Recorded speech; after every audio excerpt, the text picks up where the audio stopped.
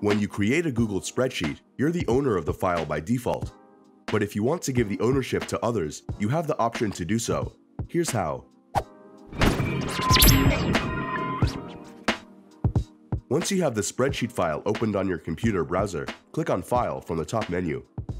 Next, click on Share from the options. In this window, you'll see all the people who already have access to the spreadsheet file. On the right side of their name, you'll be able to see their current status on the spreadsheet. Click on that button, then select Make Owner from the drop-down menu. Next, confirm your choice by clicking Yes on the prompt window. Finally, click Done. The person you chose will now be the owner and gain complete authority over the file. Thanks for watching. If this video helped you out, make sure to like and subscribe to watch other guides about all sorts of technology. Also, check out our other videos that we think you'll like